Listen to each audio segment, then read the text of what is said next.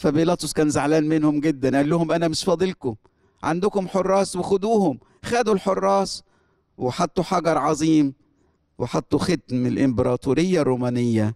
وختم الإمبراطورية الرومانية معناها إن الدولة كلها عند هذا الختم.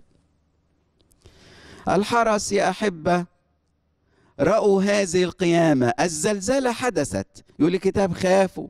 ارتاعوا الحراس.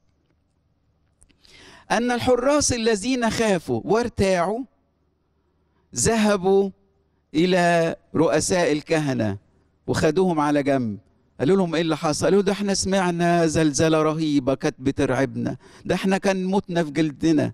قال خلاص ما تزعلوش، أنتوا تقولوا الكلام دوا إن تلاميذه أتوا ليلا وسرقوا الجسد ونحن نيام، أنتوا تقولوا كده. وإن سمع الملك نستعطفه من أجلكم.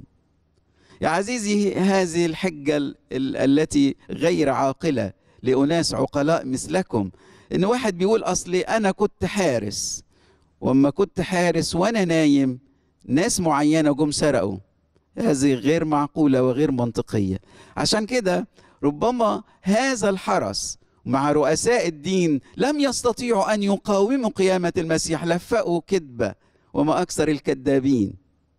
أما لفقوا الكذبه الكتاب بيقول إيه بقى؟ بيقول إنه الحرس دول لما عملوا كده رؤساء الدين ادوهم فلوس قال لهم إحنا وعدناكم فضة وخدوا الفضة وما تقولوش تقولوا كده إن المسيح قام ولا في زلزلة ولا في ملائكه ولا غيره. أنتوا خلاص. يقول من هذه اللحظة انتشر في في اليهودية أن المسيح سرق جسده. كيف سرق؟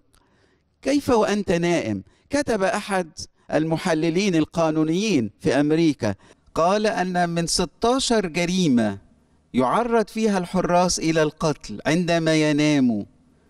فيقينا أن الحراس كانوا سهرانين ونظروا هذه القيامة لكن في شكل معجزي للغاية.